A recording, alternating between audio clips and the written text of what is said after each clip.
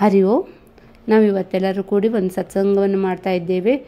ಈ ಸತ್ಸಂಗದಲ್ಲಿ, ಜೀವನದಲ್ಲಿ ನಾವು ಒಳ್ಳೆಯದನ್ನು ಮಾಡಿದರೆ ಒಳ್ಳೆಯದೇ ಆಗುತ್ತದೆ ಅನ್ನೋದೇ ಇದರ ಅರ್ಥ ರೀ. ತೇನೋ ರತ್ನಾನಿ ದತ್ತಾನ್, ತ್ರಿರಾಸಾತ್ಪಾನಿ ಸುನ್ವತೆ, ಏಕಮೇಕಂ ಶುಶಸ್ತಿಬಿಹಿ ಅಂದರೆ, ಯಾವ ವಿದ್ವಾಂಸನು ಶುಶಸ್ತಿಬಿಹಿ ಅಂತ ಹೇಳಿದರೆ, ಸು ಅಂದರೆ ಸುಷ್ಟು, ಒಳ್ಳೇದ್ರಿ. ಶಿಸ್ತಿನಿಂದರಿ. ಶುಶಸ್ತಿವಿಹಿ ಅಂತ ಹೇಳಿದರೆ ಉತ್ತಮ ಕರ್ಮ. ಆ ಕರ್ಮ ಮಾಡುವುದರಿಂದ ಎಲ್ಲರೂ ವಾ ವಾ ಅನ್ಬೇಕ್ರಿ ನಿಮಗೆ. ಪ್ರಶಂಸನೀಯವಾದ ಕರ್ಮವನ್ನು ಮಾಡುವನು. ಸಾಪ್ತಾನಿ ಅಂತ ಹೇಳ್ತಾನೆ ರೀ ಸಾಪ್ತಾನಿ ಅಂತ ಹೇಳಿದರೆ ಏಳು ಪ್ರಕಾರದ ಕರ್ಮಗಳಿದ್ದಾವೆ ಅಂತ ಹೇಳ್ತಾರೆ. ಆ ಪರ, ಕರ್ಮಗಳಲ್ಲಿ ಮೊದಲನೆಯದಾಗಿ ಹೇಳ್ತಾರೆ ಅವರು ದೇವ ಪೂಜೆಯನ್ನು ಮಾಡಿದರೆ ಎಲ್ಲರೂ ವಾವ ಅಂತಾರೆ. ದೇವ ಪೂಜಾ ಅಂತ ಹೇಳಿದರೆ ದೇವದ್ವಿಜ ಗುರು ಪ್ರಾಜ್ಞೆ ಪೂಜನಂ ಅಂತೇಳಿನೂ ಕೃಷ್ಣ ಹೇಳಿದಾನೆ ಅದರಂತೆಯೇ ಇಲ್ಲಿ ದೇವ ಪೂಜಾ ಅಂತ ಹೇಳಿದರೆ ಸೂರ್ಯೋಪಾಸನೆ ಮಾಡಬೇಕು, ಚಾಂದ್ರಾಯಣ ಮಾಡಬೇಕು. ಇವು ಸೂರ್ಯೋಪಾಸನೆ ಮತ್ತು ಚಾಂದ್ರಾಯಣ ಮಾಡುವುದರಿಂದ ಮನುಷ್ಯನ ಆರೋಗ್ಯವೂ ಚೆನ್ನಾಗಿರುತ್ತದೆ, ಅವನ ಮಾನಸಿಕ ಸ್ಥಿತಿಯೂ ಸಹಿತ ಒಳ್ಳೆಯದಾಗುತ್ತದೆ. ಜಗತ್ತಿನಲ್ಲಿ ಪ್ರತ್ಯಕ್ಷ ದೇವರು ಯಾರಪ್ಪ ಅಂತ ಹೇಳಿದರೆ ಸೂರ್ಯಚಂದ್ರನನ್ರಿ. ಅದಕ್ಕಾಗಿ ಆದಿಗುರು ಶಂಕರಾಚಾರ್ಯರು ದಕ್ಷಿಣಾಮೂರ್ತಿ ಸ್ತೋತ್ರದ ಕೊನೆಯ ಶ್ಲೋಕದಲ್ಲಿ ಹೇಳ್ತಾರೆ. ಭೂರಂಬಾಸನಲೋ ನಿಲೋಂಬರ ಮಹಾ ಆರ್ತೋ ಹಿಮಾಂಶು ಪುಮಾನ್ ಇತ್ಯಾಭಾತಿ ಚರಾಚರಾತ್ಮಕಮಿದಂ ಮೂರ್ತಷ್ಟಕಂ ಅಂತ ಹೇಳ್ತಾರೆ. ಭೂರಂಬಾಸನಲೋ ನಿಲೋ ಅಂಬರ ಮಹಾ ಅಂತ ಹೇಳಿದರೆ ಅವರು ಪಂಚಮಹಾಭೂತನ ಹೇಳ್ತಾರೆ. ಆಕಾಶ, ವಾಯು, ಅಗ್ನಿ, ನೀರು, ಪೃಥ್ವಿ. ಅಹರ್ನಾಥ ಹಿಮಾಂಶು ಅಹರ್ನಾಥ್ ಅಂತ ಹೇಳಿದರೆ ಸೂರ್ಯ, ಹಿಮಾಂಶು ಅಂತ ಹೇಳಿದರೆ ಚಂದ್ರ. ನೀವು ನಿತ್ಯವೂ ಕೂಡ ಬೆಳಗಿನ ಜಾವಕ್ಕೆ ಎದ್ದ ತಕ್ಷಣವೇ ಸೂರ್ಯೋಪಾಸನೆಯನ್ನು ಮಾಡಬೇಕ್ರಿ. ಸೂರ್ಯ ಹುಟ್ಟೋಕ್ಕಿಂತ ಮೊದಲನೇ ಏಳಬೇಕು. ಸೂರ್ಯನಿಗೆ ನೀವು ಸ್ವಾಗತಿಸಬೇಕು. ಸೂರ್ಯನು ಬರುವ ಮುಂಚಿತವಾಗಿಯೇ ಯಾರು ಹೇಳ್ತಾರೋ ಅವರಿಗೆ ಎಲ್ಲ ಜೀವನದ ಸುಖ ಸೌಲಭ್ಯಗಳು ಸಿಗುತ್ತವೆ. ಜೋ ಸೋವತ ಹೈ, ಓ ಖೋವತ ಹೈ. ಜೋ ಜಾಗತ ಹೈ, ಓ ಪಾವತ ಹೈ. ಜೀವನದಲ್ಲಿ ಯಾರು ಮಲ್ಕೋತಾರ ನೋಡ್ರಿ ಮುಗ್ಗಲ್ಗೇಡಿ, ಅವ್ರಿಗೆ ಏನು ಸಿಗಂಗಿಲ್ಲ ರೀ. ಏಳಂತ ಅನ್ನಿಸ್ಕೋಬಾರ್ದು ನೋಡ್ರಿ ಯಾರ ಕಡಿಂದು. ಜೀವನದಲ್ಲಿ ನಮ್ಮ ಶಿಸ್ತಿನಿಂದ ನಾವು ಹೇಳ್ಬೇಕ್ರಿ. ಅದಕ್ಕಾಗಿ ಮೊದಲಿನ ಕಾಲಕ್ಕೆ ಹೊಲಕ್ಕೆ ಹೋಗ್ಬೇಕಂತ ಹೇಳಿದ್ರೆ ಬೆಳಗಿನ ಜಾವಕ್ಕೆ ಹೋಗ್ತಿದ್ರಿ ಅವ್ರು. ಅವರು ಮನ್ಯಾಗ ಹಿಟ್ಟು ಬೀಸ್ತಿದ್ರು, ಅವಾಗಿಂದ ಅವಾಗ ಹಿಟ್ಟು ಬೀಸಿದ್ದನ್ನು ರೊಟ್ಟಿ ಮಾಡಿ ಕಟ್ಟಿ ಗಂಡಕ್ಕೆ ಕಳಿಸ್ತಿದ್ದರ್ರಿ ಅವ್ರು. ಅದು ಸಹಿತ ಚಕಡಿ ಗಾಡಿ ಮೇಲೆ ರೀ ಅದಕ್ಕಾಗಿ ಒಬ್ಬನ ಅವ್ರ ಅಕ್ಕನ ಮಗಗ, ಮಗಳ್ಗೆ ಮಾಡ್ಕೊಂಡ ಅಂತ. ಅಕ್ಕನ ಮಗಳ ಮಾಡ್ಕೊಂಡ್ರೆ ಮಾಮನ್ಗೆ ಹೆದರಂಗಿಲ್ಲ ನೋಡ್ರಿ ಸ್ವಲ್ಪ. ಅದಕ್ಕಾಗಿ ತಮ್ಮದ್ರೊಳಗೆ ಅವನು ಆಕೆ ಹೇಳ್ತಿದ್ದೇ ಇಲ್ಲಂತ್ರಿ. ಅವನು ದಿನ ಎದ್ದು ಕೂಡ ಇದ ಹಾಡು ಹೇಳ್ತಿದ್ದ ಅಂತ. ಎದ್ದೇಳ ಚಿನ್ನ ಮೂಡಲ ಹರಿತ ಮಾಡೇಳ ಮನೆಯ ಕೆಲಸ. ಮುಂಜಾನೆ ಹೊತ್ತ ಬಿದ್ದುಕೊಂಡ್ರೆ ಹ್ಯಾಂಗ? ಮಾಡೋರ ಮನೆಯ ಕೆಲಸ. ಅಂತ ಅಂದ ಅಂತ. ಅಕ್ಕಿನೂ ಚಂದ ಜಾನಪದ ಆದರು ಜಗಳ ಮಾಡ್ತಿದ್ದಿಲ್ರಿ ಅವ್ರು. ಹಾಡೊಳಗೆ ಹೇಳ್ತಿದ್ರು.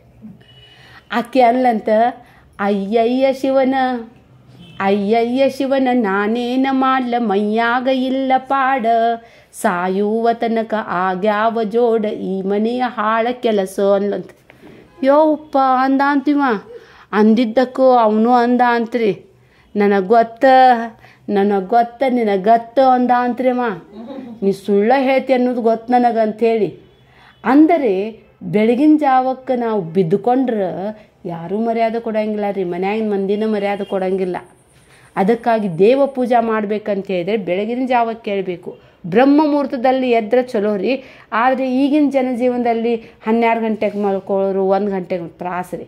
ಆರು ಗಂಟೆಗೆ ಎದ್ರೂ ನಡಿತೈತೆ ರೀ ಹೋಗಲಿ ರೀ ಗಡಿಯಾಲದ ಗಂಟೆಯೊಳಗೆ ಏಳು ಅಂತ ಬಂದಿದ್ದ ಹೆಸರು ಅದರಲ್ಲಿಂದ ರೀ ಏಳು ಗಂಟೆ ಆದಾಗ್ರೆ ರೀ ಏಳು ದಾಟಬಾರ್ದು ರೀ ಆವಾಗ ಎದ್ದ ನಿಮ್ಮ ನಿತ್ಯ ಕರ್ಮವನ್ನು ಮಾಡಿ ಆ ಸೂರ್ಯನಿಗೆ ಆರೋಗ್ಯವನ್ನು ಕೊಟ್ಟಿದ್ದೇ ಆದರೆ ನಿಮ್ಮ ಅನೇಕ ರೋಗಗಳು ಹೋಗ್ತಾವೆ.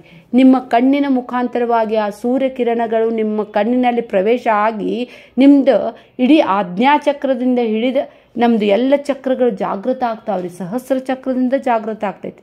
ಡಿ ವಿಟ್ಯಾಮಿನ್ ಸಿಗ್ತೈತಿ. ನೀವು ಆರಾಮಿರ್ತೀರಿ.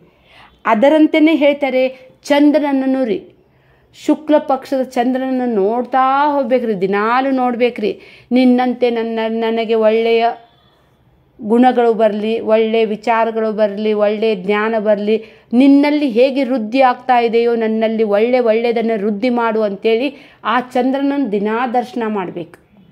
ಅದಕ್ಕೆ ಹೇಳ್ತಾ ಇದ್ದಾರೆ ಅವರು, ದೇವಪೂಜಾ ಹೀಗೆ ಮಾಡಿದ್ದೇ ಆದರೆ ನಿನ್ನ ಜೀವನ ಪ್ರಶಂಸನೀಯ ಆಗುತ್ತದೆ.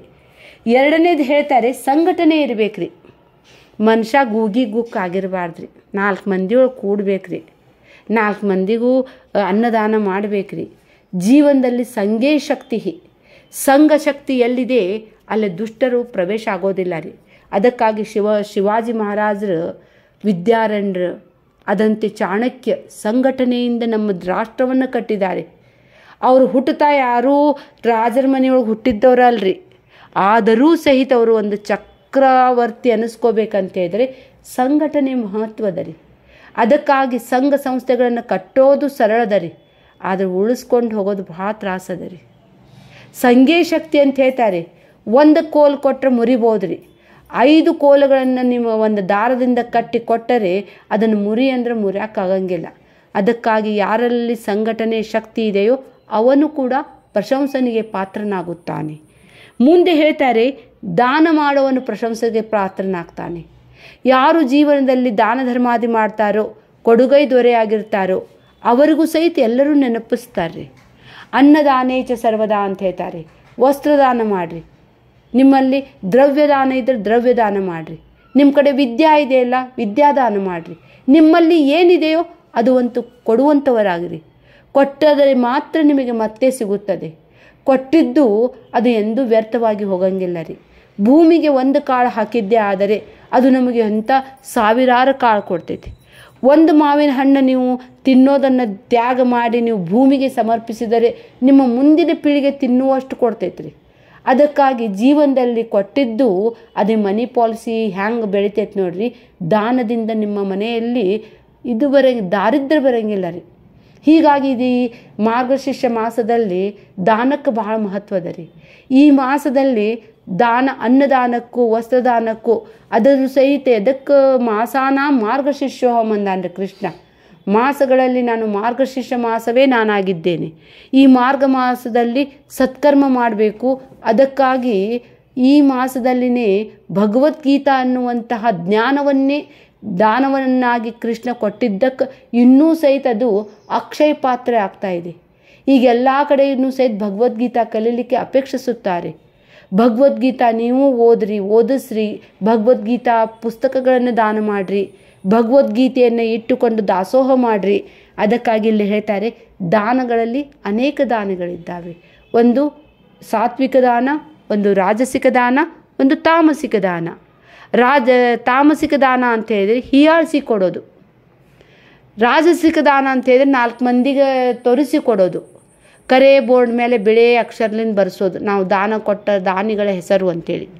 ಒಂದ ಫ್ಯಾನ್ ಮೇಲೆ ಮೂರು, ಅಲಗ ಮೇಲೆ ಮೂರು ಮಂದಿ ಕೂಡಿ ಮೂರು ಮಂದಿ ಹೆಸರು ಹಾಕ್ಸೋದು.